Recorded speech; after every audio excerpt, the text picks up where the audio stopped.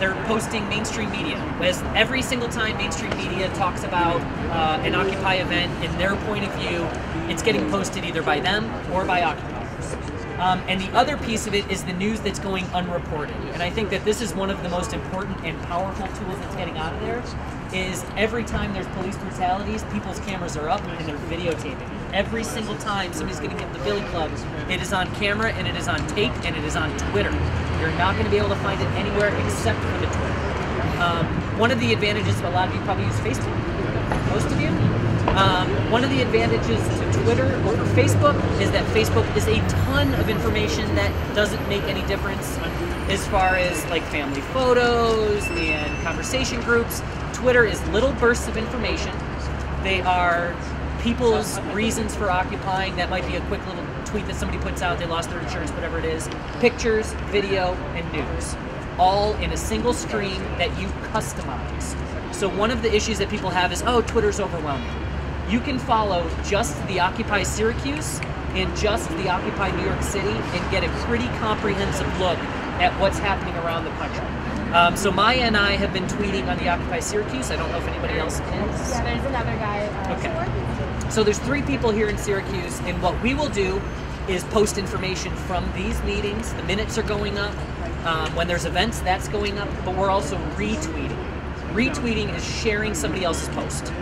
Denver says, I just got cracked in the head, and here's the video. We retweet it so you can see on the ground what's happening. And so, into the nuts and bolts of how you put together a feed. I'm going to assume that you all decided that you want to do it. They're not here to convince you about too much more than have. Um, there's two essential functions on a Twitter the at symbol and the hashtag. The at symbol is what goes in front of your handle, which is your Twitter name. Um, the Occupy Syracuse is Occupy underscore Syracuse. At symbol, Occupy underscore Syracuse. You can also search it just like you search any other function in anywhere else. You can just search Occupy Syracuse and it'll pop up under the feed on the side. So with an at symbol, you are following a single person or organization's feed. So one of the great things that's come out is people are tweeting live at the General Assemblies in their cities. Um, New York being the, the, best example because they actually have journalists on the ground. Mother Jones, um, in these times, their journalists are going to General Assembly and tweeting real time the, what they're going over. So I've been following those uh, Twitter feeds every night. I'll follow a single journalist and I'll follow his tweets through the day. And what we're seeing is how strategy is being played out in New York what decisions they're making as far as pushing the movement forward. They are also at times asking people to tweet at them. How would you like to see this movement move forward? So you can actually tweet your opinion to the occupiers in New York City to weigh in on General Assembly items, um, committee items, things like that. So you can now send them your information in real time. Um, and in their community, they are uh, actually at, at moments broadcasting. So they'll say, We're calling for tweets. Why did you join the Occupy? You can tweet it at them and they broadcast it on the side of a building so everybody there can see. I was just going to say, if you think that like the whole at symbol thing is overwhelming or kind of confusing, if you go online, like on your computer to do this instead of using your smartphone, if you have one, um, it, they make it really easy for you. You click the reply button on any tweet, and within seconds, like you're replying, they set it up for you. You just type what you want to say, and it sends them. Yeah, you're not typing in these at symbols. Uh, they, like, like she said, you hit the reply, it, it auto generates it. If there's more than one uh, handle that is being used in there. They will both be auto-generated. You can choose to reply to one or the other. Um, but for some people that that's too much, you can just follow. You don't have to tweet at me. Um, you can just get information back to see how it's happening to make it an easier process. If, if you feel like it's overwhelming, just use it to get your news. Just get information out. Um, it is also now the other half of that is you can't tweet at me. You can tweet at us at Occupy Syracuse. You can ask questions. What time's the General Assembly happening tonight?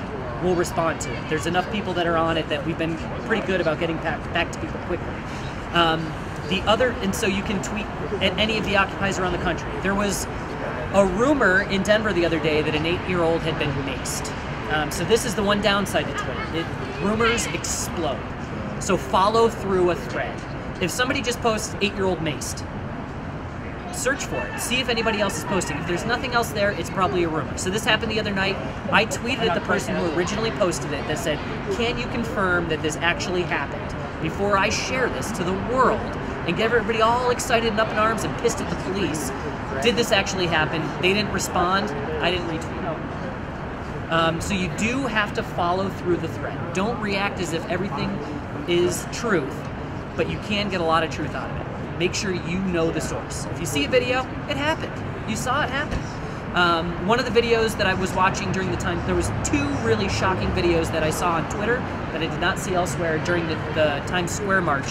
One was a legal observer run over by a police a police officer on a scooter. They were run over. They parked on top of it and, and off, the cop jumped off and ran away. The an illegal observer kicked the scooter off of him, at which point four more officers jumped and started hitting him with billy clues. If you read the article in the New York Post, it said a protester was arrested for kicking the scooter. Now, the reality of it that you would have only found on Twitter is that he was run over and brutalized by the police. That information is not going to be coming out through mainstream media. You're not going to find it on the New, on the New York Times website. You're really only going to find that posted by occupiers to the Twitter feed. Look at our list of followers at Occupy Syracuse. We have about 300 people that we're following and 300 people that are following us. That's a great place to get started. And like I said, if Twitter is, just feels like too much for you, follow us, follow New York City, and then you can move on from there. You don't have to get too much information. You have a, a, a moderated and managed newsfeed. Um, so now there's people engaging in conversation every day. Is this the appropriate move, next step for the movement? So you can have general conversation, OWS, Occupy Syracuse. You can have niche conversation if that's something you want to do. They were like, you know, I can't believe that you're down there. You're just not trying hard. You know, you're occupying because you're too lazy to find a job and then starts a, a hashtag feed or a, a, conversation between the two people where they're like, actually, I can't find a job. I have three master's degrees, and, and they start to have a genuine conversation. People are really connecting on Twitter. And I know it sounds crazy, but I have absolutely met more people through Twitter than I have through Facebook or you know going to the bars or anything like that. I meet people from Twitter all the time in real life. Um, they are actual people. So please. Can you um, talk about and could you could you give me your name? Sorry, I'm Emily. Hi. Who uh, Twitter is owned by and any Yeah. possible censorship? Uh, there has been some uh, mentions of censorship from major occupiers around the country. New York City and Chicago both come to mind. As Chicago mentioned today that some of their tweets were being um, censored or edited. Twitter is partially owned by J.P. Morgan Chase. Um, it is a tool that we are using against them to uh, start this revolution. And, and part of the context I told you I was going to mention in Egypt, it was the single most powerful tool that they had to organize people. In Libya, they were using it. In Spain, they've been using it. In Iceland. These movements have started around Twitter. It is owned by JP Morgan Chase. So be it. I- I- you know, we're not going to be able to step away completely from all of these corporately owned entities, but we can absolutely use the tools that they are providing to us. Um, but yeah, it is owned by JP Morgan Chase. Thank you. And it is being censored a little bit um, so far. And in other countries, it was shut down because essentially the government shut down the. And we have to also remember that they are blinded by their insatiable appetite for profit. So they will only censor us so much because they want us to keep using it because they're making money from us using it. And it goes back to like what you were saying before about, oh, you're tweeting from an iPhone. We don't really have many other options other than relying on corporations to do this kind of stuff. So there is a some semblance of reliance we have to have. We just can't. We just have to be able to adapt if the option disappears. And I'm sure we will because we're very And there is the, the, the next option, and I'll get you in just a second, is uh, they are now using in New York a social networking app called Vibe. So for those of you who are, are on smartphones, it is a phone to phone networking.